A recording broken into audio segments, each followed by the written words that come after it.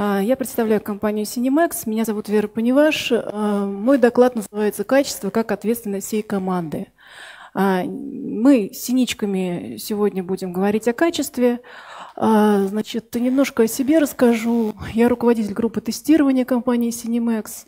В IT работаю более 20 лет в разных ролях. Была и программистом, и в группе сопровождения. А, дольше всего работала тестировщиком, была также техническим писателем, руководителем отдела. А еще я психолог. И а, значит, уже более восьми лет я занимаюсь такими проблемами, как выгорание, конфликты в организации, значит, мотивация сотрудников, внешние, внутренние, мотивация, такие проблемы. Это, в общем, все тоже в сфере моих интересов. Прежде чем я начну, прежде чем я начну доклад, а, я хочу вам рассказать то, о чем я говорить не буду. Значит, э, э, Существуют такие формальные модели, которые определяют уровни зрелости процессов тестирования. Вот они здесь представлены. Все это очень такие важные, интересные э, значит, вещи, они про, про, про стандарты, да, про качество, про все вот это. Вот. Но мы сегодня не об этом. А о чем?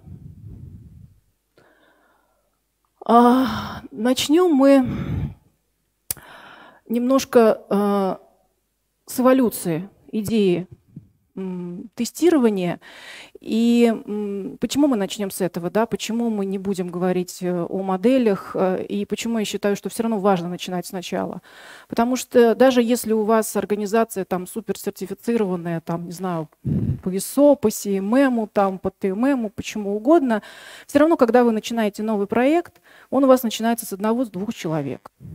Значит, все равно это какой-то прототип, все равно это что-то пишется на коленке, все равно это сначала что-то показывается заказчику. И потом, когда проект уже выходит на уровень, когда там появляется тестировщик, тестировщик появляется все равно не с нуля. И, э, значит, вот если какие-то были выстроены уже раньше процессы, то, значит, у проекта есть больше шансов выйти на нормальный уровень как бы, управления качеством быстрее. Но а, все равно все вот эти вот а, процессы, о которых мы сегодня будем говорить, все стадии, они так или иначе проходят, а, поэтому ну, я считаю, что говорить об этом важно. Кроме того, действительно не так много организаций, в которых а, большие ступени зрелости, да, а, поэтому я думаю, что мой доклад будет интересен большому числу присутствующих э, на конференции. И э, давайте начнем с того, что когда чаще всего вообще руководитель приходит к выводу, что проекту необходимо тестирование. А, ведь э, сначала, когда пишется продукт, э, мы, он пишется для того, чтобы там, не знаю, что-то быстро там ускорить, что-то быстро автоматизировать, что-то быстро там кому-то продать, там ответить на какую-то э, необходимость в э, запрос э, рынка, да, вот какие-то такие вещи. И, конечно, мы начинаем с того, что э, мы пишем код, код работает, все прекрасно. И э, вот этот э, уровень, он называется нулевым уровнем зрелости тестирования. И состоит в том, что, э, ну, если дебаг прошел, если код скомпилировался, значит нормально. Если что-то ненормально, то быстро все починим. Вот он программист, он быстро все делает, вообще проблем никаких нету. И первая идея о том, что вообще тестирование нужно, появляется в тот момент, когда начинаются уже какие-то проблемы, такие, которые нельзя быстро пофиксить, и они начинают э, прилетать нам а, с, не знаю, либо начинают прилетать с прода, а, либо начинают э, какие-то отдел сопровождения перестает справляться, либо э, уровень эм, программного продукта становится настолько сложный, что его нельзя протестировать вот так уже на коленке э, там, за полчаса, что вот у нас все работает, все значит там. И в этот момент появляется идея нанять какого-нибудь студента, который ну, будет перед э, релизом быстренько палочкой тыкать и смотреть, значит, что все работает, чтобы мы там уж совсем какие-то какую-то шнягу напрот, не выкладывали.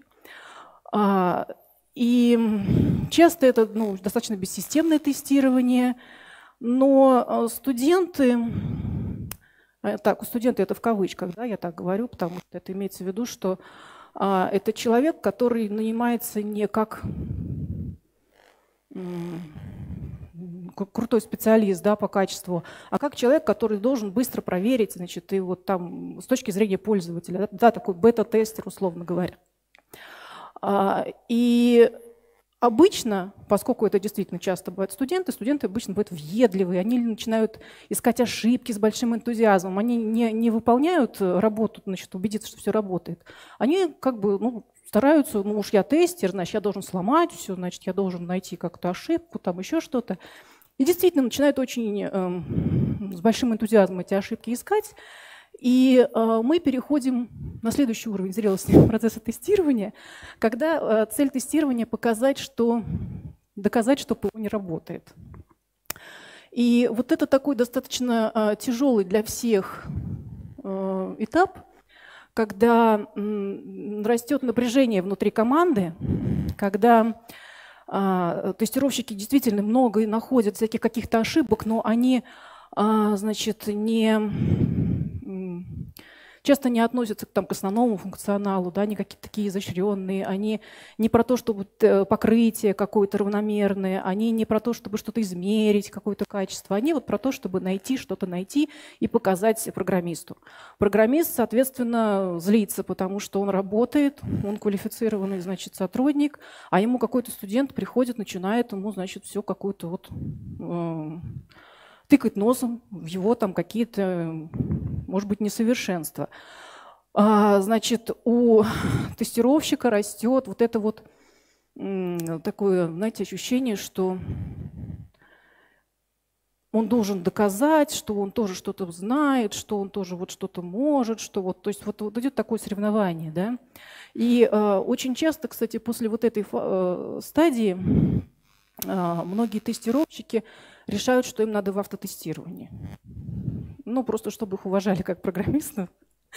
Вот, потому что уважать, э, для того, чтобы тебя уважали как тестировщика, нужно нечто большее, чем просто найти много багов, которые, значит, э, ну, покажут человеку, что он плохо работал.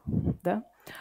А, и в такой момент часто принимается решение о том, чтобы нанять на проект тест-менеджера, который снимет головную боль с руководителя проекта, касающуюся налаживания отношений между разработчиками, тестировщиками, вот этой кучей непонятных багов, которые непонятно о чем вообще, как то ли выпускать продукт, то ли не выпускать. А, и третий уровень зрелости состоит в том, что тестирование уже не ставит себе целью что-то доказать, что продукт там работает или что продукт не работает, а тестирование а, призвано констатировать некий уровень качества, да? выявить какую-то объективную картину, а, предоставить какую-то полноту, снизить риски возникновения ошибок до какого-то приемлемого уровня. И а, задачи тестирования уже как бы выходят за рамки а, только поиска ошибок. И вот тут возникает первое ожидание от тестирования как о каком-то процессе, который должен качество обеспечивать. Да? То есть мы, вот у нас есть отдел тестирования, у нас есть тест-менеджер, значит, у нас теперь тест-менеджер отвечает за качество. Ну вот. И вот э, я немножко хочу да, раскрыть эту тему, потому что, в общем, не все так на самом деле э, хорошо. Потому что давайте подумаем, что может сделать тестирование, если требований на проекте нету, либо они не фиксированы, либо они противоречивы, нетестируемые и недоступны для анализа тестировщикам. Значит, э, например, давайте вот подумаем. Мы тестируем задачу, которая поставлена вот так. А, программист, в принципе, программисты бывают разные – кто-то может докопаться. Я знаю таких как бы, программистов, которые действительно требуют, чтобы задача была поставлена корректно, прежде чем начать ее выполнять, как бы и докопаются. Я также знаю тех, кто э, напишет Вот как здесь, так и в коде будет. Я также знаю тех, кто а, выберет один из вариантов, который ему больше нравится, который ну, по коду ложится, и сделает так. Да? Поэтому а, а, вот при таком раскладе, что мы можем в, тестировании, да? И какие задачи аналитики? Да, мы когда говорим о том, что качество ответственности всей команды, мы говорим о том, что в разных ролей, у разных функций есть какие-то свои задачи. Вот сейчас мы плавно перешли к задачам аналитика, э, что он может сделать для качества. Безусловно, это эм, э, формирование полных, непротиворечивых тестируемых требований а, желательно очень привлечение тестировщиков к анализу требований на этапе их согласования. Ну, как бы, чтобы тестируемость проверить как минимум, да, но по-хорошему еще и вот эту полноту непротиворечивость тоже. А, поддержка версионности требований при их изменении. Поднимите руки, у кого требования менялись в процессе разработки. Вот. Вы меня понимаете, да? А, значит, когда вы узнаете о том, что да, вот оперативное информирование команды о внесении изменений в требования, да, вот прям головная боль на самом деле, да. А, значит, это то, что может сделать аналитик. Но мы с вами тут собрались не, не поныть о том, что у нас все плохо, как бы, потому что все, никто ничего не делает. А я предлагаю зайти немножко с другой стороны. Давайте подумаем, а что мы, чем мы можем помочь своему проекту, чтобы в проекте вот стало вот так все хорошо, как мы хотим. И действительно, значит, что мы можем делать? Во-первых, мы можем дотошно выяснять все особенности поведения. А мы можем фиксировать все договоренности в тестах, то есть как бы самим писать документацию, да, не ждать, пока кто-то ее напишет. Тест – это документ. А, добиваться коррект, корректировки постановки задач даже уже реализованных. То есть если мы нашли несоответствие, мы ловим за хобот аналитика, значит, э, просим его внести изменения. А, либо вносим изменения в документацию, либо там в релиз-нос, ну что-то добиваемся того, чтобы значит, э, была какая-то однозначность. А, фиксируем ошибки на все неоднозначные случаи и добиваемся однозначного решения по этим случаям. То есть не, не верим людям на слово, что у нас так всегда было, и, ну и ладно, нормально. Всех как бы с продай нам не прилетело. Мы отвечаем за качество, значит, мы что-то нашли, мы записали. Дальше уже, пожалуйста, есть проектный менеджер, который принимает решение, насколько это критично.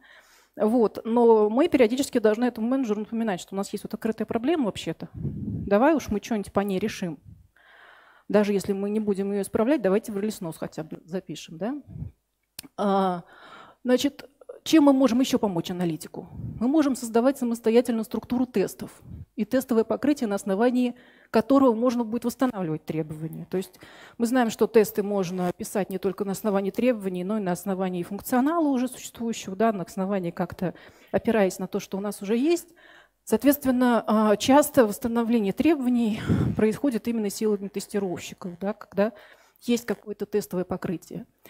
А, ну и, конечно, обращать каждый раз внимание руководства на случай двойной работы из-за того, что кто-то когда-то чего-то некорректно поставил и э, тестировщикам посмотреть не дал да, заранее. А следующим этапом да, у нас после аналитики идет процесс разработки. Давайте допустим, что у нас уже задачи поставлены корректно. У нас уже нет против, противоречий каких-то, да, а, в требованиях. Ну и мы, как тестировщики, конечно, понимаем, что мы берем, ну что тут тестировать, тут все понятно, да? Значит, тут класс эквивалентности, тут граничные значения, мы, значит, можем сразу там штук 10 тестов накидать, и у нас как бы будет просто полное счастье. Но что может сделать тестирование, да? То есть мы, когда вот это делаем такие вещи, мы опираемся на ну вот на то, что я сказала, да, что код написан так, как требование. А если у нас код написан вот так? Значит, помогут нам наши классы эквивалентности? Можем мы что-нибудь гарантировать в этом случае, да? А, конечно же, конечно же нет. Поэтому как бы мы хорошо не тестировали, как бы мы хорошо не покрывали требования, э, значит, э, все равно есть еще вариант, когда код написан вот так. А, есть, ну, сколько шансов у нас найти вот такое поведение, да? Ну, примерно ни одного на самом деле, если мы не видим код. Что с этим можно сделать? Тут мы плавно переходим к тому, что можно сделать для качества на этапе разработки, и плавно переходим к задаче разработки в управлении качеством. Конечно, первое, самое главное – это проведение ревью кода. Потому что вот эту вот э, вторую ситуацию, да, там выплатить миллион долларов там такому-то, э, значит, э, можно отловить только просматривая значит, код. Первую ситуацию так, также можно отловить только, если ты просматриваешь код. Если есть человек, который как бы следит за культурой программирования, следит за какими-то способами, да, за, значит, анализирует этот код. Также э, существуют э, формальные э, э автоматизированные системы уже проверки да, кода на какие-то эффективность. Значит, что, что у нас помогает? Повышает эффективность.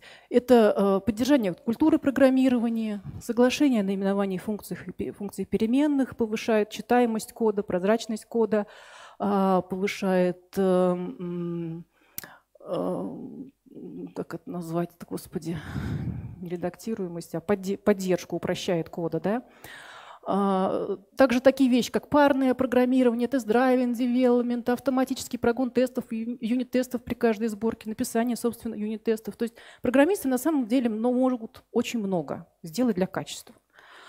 А, но давайте подумаем, что мы можем сделать мы в данном случае, как тестировщики. Как мы можем этот процесс как-то ускорить, значит, допинать до этого состояния, чтобы значит, э, нам еще не прилетело. Да? А что может тестировщик? Тестировщик может подходить, просто подходить к разработчикам и спрашивать о структуре кода. То есть действительно, могу ли я вот в данном случае а, использовать там классы эквивалентности? А, потому что действительно иногда бывает так, что классы эквивалентности есть, но они немножко не такие. Они там, например, на подклассы разбиты внутри кода там, или еще что-то такое сделано да, там, для оптимизации. Мы этого не узнаем никогда, если мы не спросим разработчика. Мы подходим и спрашиваем. Вот. И в этот момент разработчик лезет в код и, соответственно, как бы да, говорит, да, все окей, или нет, вот тут надо, значит, вот, вот так и так такие тесты добавить. А еще интересный метод подходить к лиду разработки и задавать ему вопрос с тем, чтобы он смотрел чужой код. Вот когда лид разработки видит значит, чужой код, очень редко бывает, что он ему нравится. И когда, если получается так, что он сходу не может в нем разобраться, то там у него начинает там, в общем, ну, начинает нервничать, переживать и шуметь. В этот момент, в принципе, можно ретироваться, мы свою задачу сделали. Вот. То есть наша задача не ткнуть программистов носом да, в что-то, а наша задача так как бы подойти и сказать, а вот давайте посмотрим. И дальше они пусть сами разбираются в своем муравейнике. То есть, в общем, обычно этого достаточно. Можно подходить к программисту и спрашивают про код программиста, который находится, например, в отпуске. Да, то есть мы тем самым мы провоцируем ревью такое, да, вот. И э, часто бывает так, что формально ревью-то есть. То есть они там даже подтверждают, что там они код там написали, это еще что-то, но э, часто бывает так, что но это действительно делается формально. То есть еще за джунами еще смотрят, а вот друг за дружкой, за когда вот два сеньора, как бы два джентльмена верят друг другу на слово. Это вот просто это так работает. А, я вот, у меня есть такой немножко забавный пример. У меня когда а, дядя писал кандидатскую диссертацию, он в текст диссертации вставил фразу «Тому, кто дочитает до этого места, ставлю бутылку коньяка». За 40 лет никто не обратился. Понимаете, да?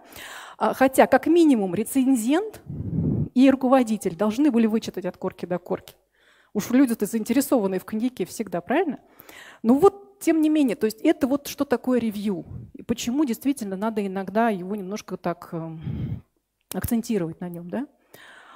А, значит, э, еще есть, кстати, один, сейчас тоже один расскажу примерчик. А, тоже, когда вот умные люди да, верят друг другу на слово, значит, один а, а, наняли архитектора, который должен был переписать ядро программы. И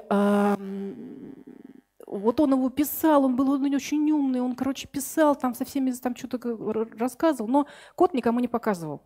И он в результате что-то такое сделал, оно прямо летало, оно прямо это самое, но разобраться, что он сделал, не смог потом никто. Просто, то есть человек работал год, код ушел в помойку. Потому что он сделал не совсем то, что хотели, он сделал то, как его, видел его гениальный мозг, а, но переписать вот это, как-то, то есть э, сделать, э, дописать, да, докрутить, чтобы можно было сделать, уже, значит, там у него там что-то, там какие-то личные обстоятельства, а другой человек уже разобраться не смог. То есть э, вот это вот про, про ревью, это про вот доверие между джентльменами, и про вот это вот все, и про качество в том числе. А, значит, давайте теперь плавно перейдем к задачам руководителя в управлении качеством. Что тут можно? Ну, роль руководителя вообще нельзя, конечно, переоценить, потому что от него зависит ну, самое главное атмосфера внутри команды.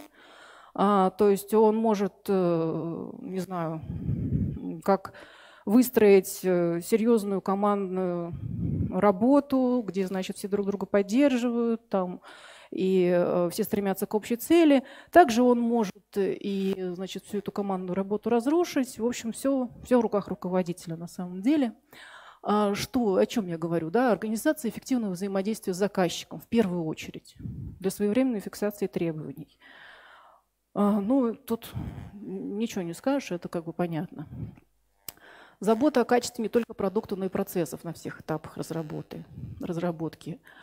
А, Э, раннее выделение ресурсов на тестирование, создание доверительных отношений в команде, акценты не на личные, а на общекомандные результаты. Да, очень э, знаю проекты, которые, в общем, очень страдали от того, что э, значит, э, премию по результатам работы выдавали не всему проекту, а только лучшему человеку в проекте.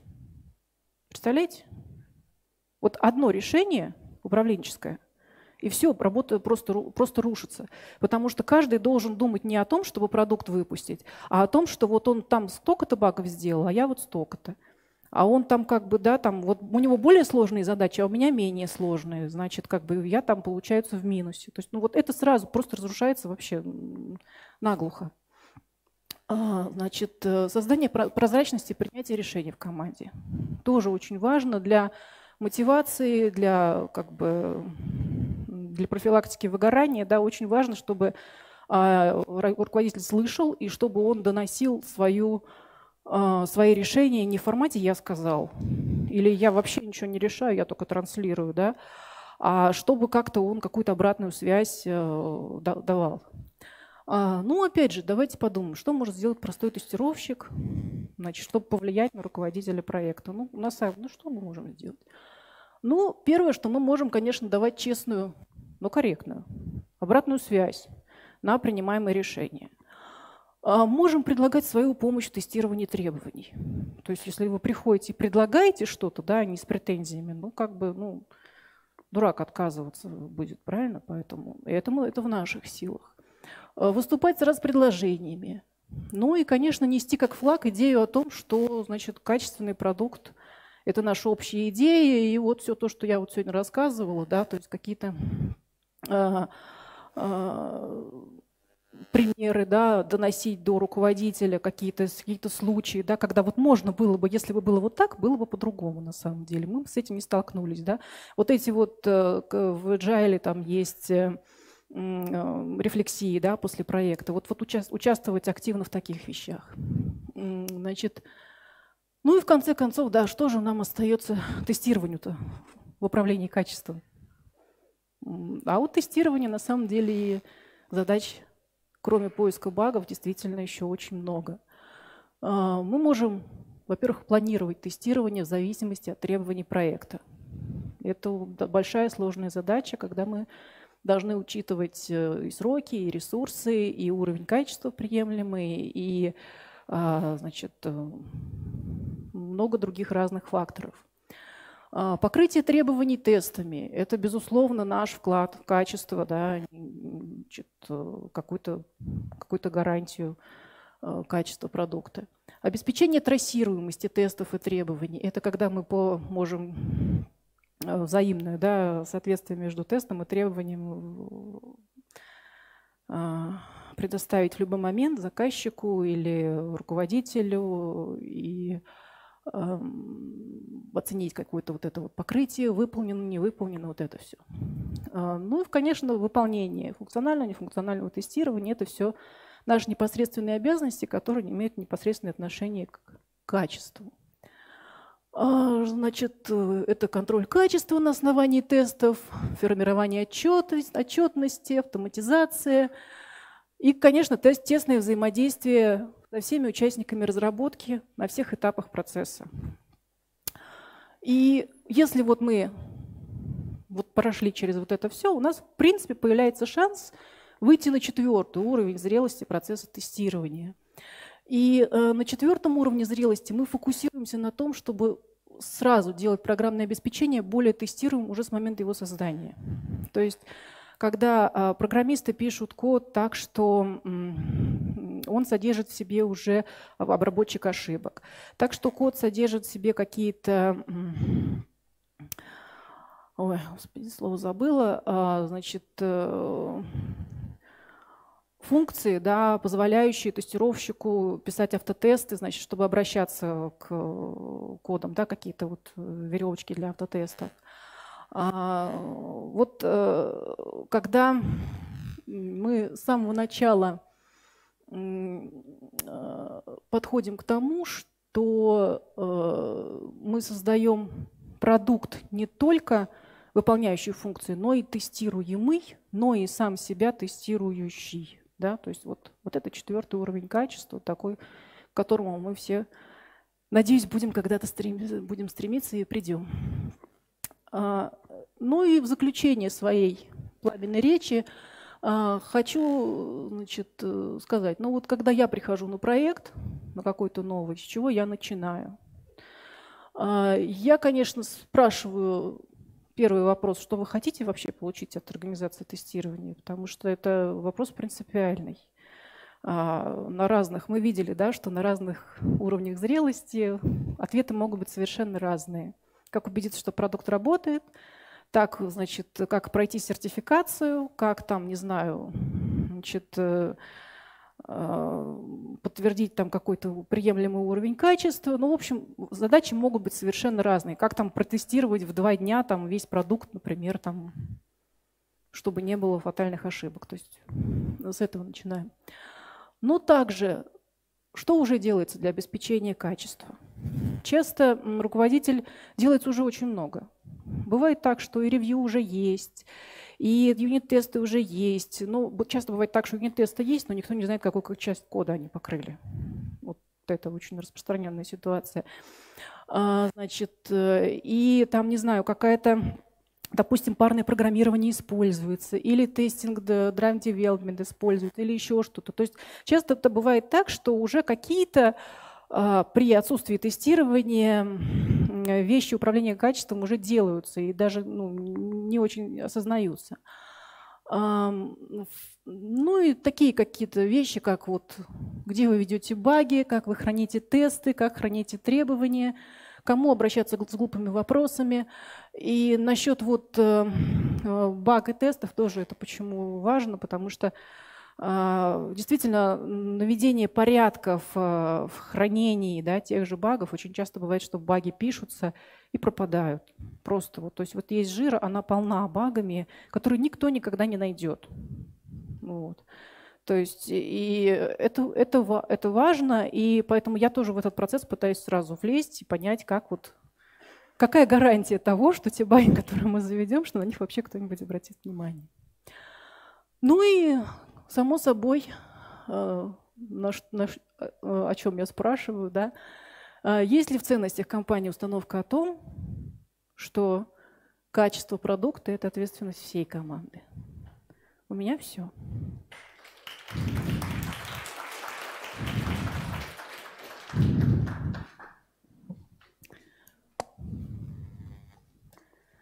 Вопросы? Да, здравствуйте. Спасибо большое за доклад, э, Александр. А, было очень много рассказано про уровни а, но хотелось бы услышать с точки зрения э, тестировщика и с точки зрения психолога о том, как перейти с одного уровня на другой. Это, как мне кажется, это самый сложный процесс. А, скажем так, были кейсы в моей практике, когда я сам на уровне тестировщика без тест-менеджмента пытался провести, э, скажем так, с третьей на четвертый, внедрить какой-нибудь, и не был услышан. Или по какой-либо причине это отвергли. В итоге я перегорел и ушел в другую компанию, где уже совсем ну, все по-другому. Угу. Но с другой стороны, как бы мы все здесь боремся за качество продукта, и хочется внедрять такие процессы. Расскажите вот э, какой-либо кейс, э, как вы это делаете. Спасибо. Ну, я вам скажу так, что кейс поменять работу – это отличный кейс. Потому что, понимаете, не все зависит от нас. А, значит, э, вот серьезно, если там, вы там бьетесь головой об стену, но у вас ничего не получается, вас не слышат, там еще что-то, возможно, просто ваша, э, ваша компания еще не дозрела до вот этого уровня перехода. Да? Тут не все зависит от вас. Вы можете помогать, вы можете как-то там, значит, э, вносить свои 5 копеек, значит, вы попытку сделали, другую попытку сделали, вам говорят, что нет, окей, хорошо, идете работать в Cinemax. Вот. То есть я, например, на самом деле ужасно рада, что я нашла вот сейчас э, компанию Cinemax, потому что меня здесь слышат. И э, действительно наши ценности совпадают. Но это не во всех компаниях так. И это, к этому приходят тоже долгими-долгими годами путем долгих ошибок каких-то. То есть э, не на все мы можем повлиять, к сожалению. Вот. Да, угу. это вопрос.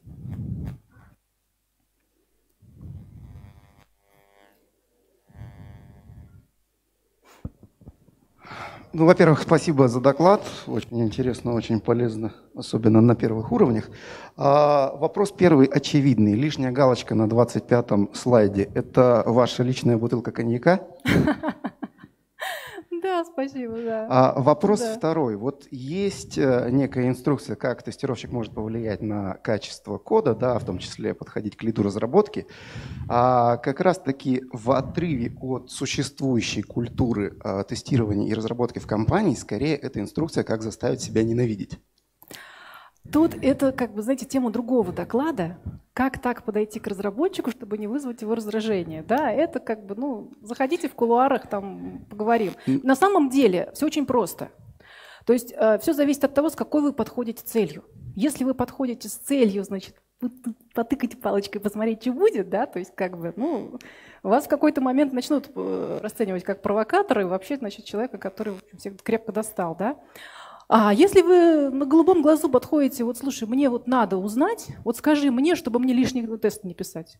Потому что это же действительно ужасно полезно, когда э, программисты наши тесты анализируют. Много раз я как бы они говорили, что ну это вообще вот это вот то, что ты проверяешь, это у тебя ни, никогда этот тест ничего не найдет, потому что в коде как бы сделано вот так, что это невозможно.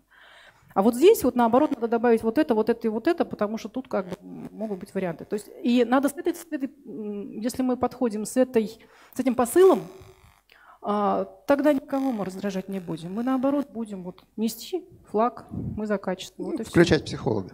Да, ну да, на самом и деле да. Вот последний самый насущный вопрос, а, который немножко был обойден вниманием. По-моему, самая большая проблема – это избавиться от ситуации «мы и они». То есть всегда есть э, некие, может быть, одна команда, может, две команды, которые включают в себя «мы» и «они». И, соответственно, отношения. Мы – это прозрачные отношения, где все друг другу доверяют, а они – это там они, которые плохо тестируют, они, которые плохо пишут, неважно, плохо анализируют и так далее. Как справляться вот с этой ситуацией, чтобы было одно большое «мы»? Ну, это на самом деле тоже очень большой вопрос. То есть, во-первых, нужно это мы и они э, на масштабах проекта для начала, да. Э, это зависит от руководителя проекта в первую очередь. Но Тестировщики тоже, если мы не противопоставляем себя, если мы не подходим с таким взглядом снизу да, на разработчиков, как бы, а подходим на, на равных, то есть э, часто же как бывает, да, что тестировщик это вот там, да, только, только там, а, только баги ищет, да, и отвлекает людей от работы. То есть вот, э, и нужно понимать, что мы, как бы, наша идея качества.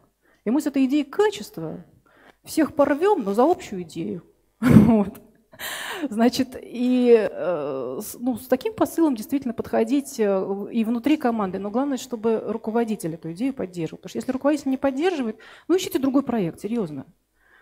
Вот, потому что как бы, если для него это не проблема, что можно, кстати, сделать? Можно сделать, чтобы это было его проблемой. Во, вот с точки зрения психологии, вот так вот, да, то есть как бы, ну, такой... Э, значит, соответственно, любая у нас какая-то ситуация возникает, когда мы там в противоречии стоим, мы эту ситуацию доводим до абсурда, доводим на уровень руководителя, да, Значит, чтобы он там каждый день занимался тем, что разруливал конфликты между там, тестировщиками и программистами, например, да. А, значит, э, ну, то есть, да, ну, то есть мы делаем, чтобы это была его проблема. И потом мы приходим с решением, говорим, а в общем-то, да мы, да мы вообще мирные люди, наш бронепоезд, все нормально. Вот. А, но есть еще проблема, когда вот есть наш проект, а есть соседние проекты. И мы, например, от них зависим как-то. И тут действительно сложно, потому что действительно есть какое-то там, что у нас все работает, но вот эта компонентная разработка, они вечно все там нам сроки факапят, мы как бы из-за них страдаем, ну вот это, да, все.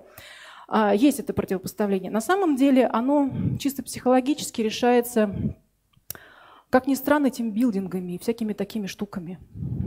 То есть нужно знакомить людей друг с другом, потому что пока человек, у тебя имя, фамилия, ты как бы ему можешь э, игнорировать, посылать, там, ну, ну все как бы, да, разговаривать как, как э, с имя, фамилией.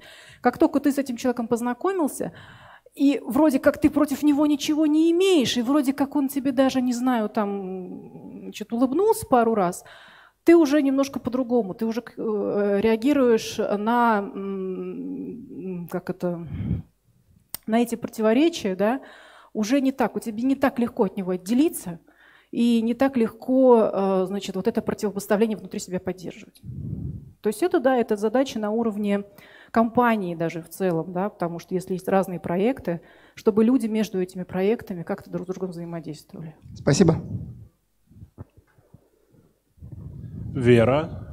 А, спасибо за доклад, было действительно спасибо. познавательно, очень хорошо. У меня простой вопрос. Красной, ли... Красной линией через ваш доклад проходят уровни зрелости процесса тестирования. Это изобретение ваше, вашей компании. Нет, и нет. как они коррелируют с другими методиками измерения уровня зрелости процесса, например, с TPI?